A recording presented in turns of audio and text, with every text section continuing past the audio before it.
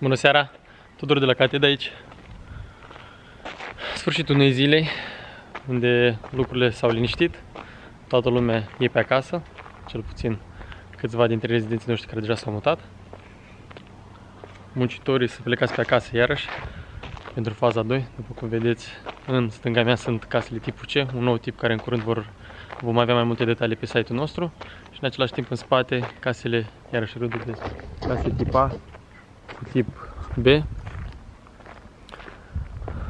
ridicate, deja câteva vândute și care așteaptă să fie finisate la nivelul care le avem și noi în faza 1. Pregătim în momentul de față canalizarea, tragem apa, practic am săpat uh, locul pe unde vom trage canalizarea, apa pentru fiecare casă, curentul electric, gazele desigur. Și după cum se poate vedea, fiecare casă va fi branșată în felul ei. Un pic de dezordine, cerem scuze pentru asta, dar muncim cu drag și spor cât de repede putem, astfel încât să fie gata în timp util la sfârșitul anului toată faza 2, 24 de case.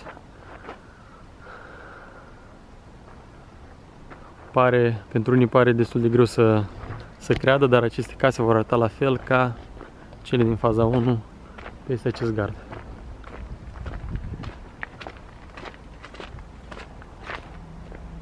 Și cam așa, asfaltarea e completă. Avem și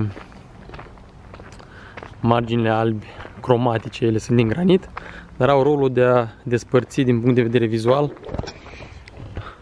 tot ce înseamnă negru asfaltului, care în curând după ce îl vom curăța va fi va, va vedea destul de bine.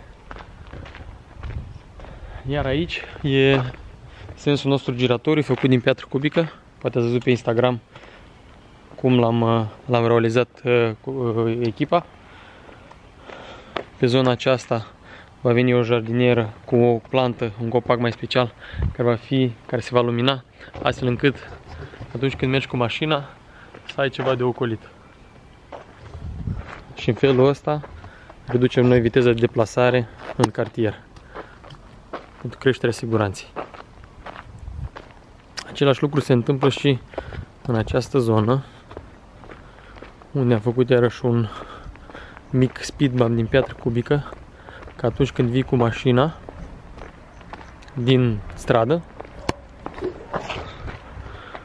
în primul rând, înainte să intri ori pe stânga în faza 1, ori pe dreapta în faza 2, să poți să stai să încetinești și ușor, agale, să mergi spre locul tău de parcare, oricare ar fi acela el.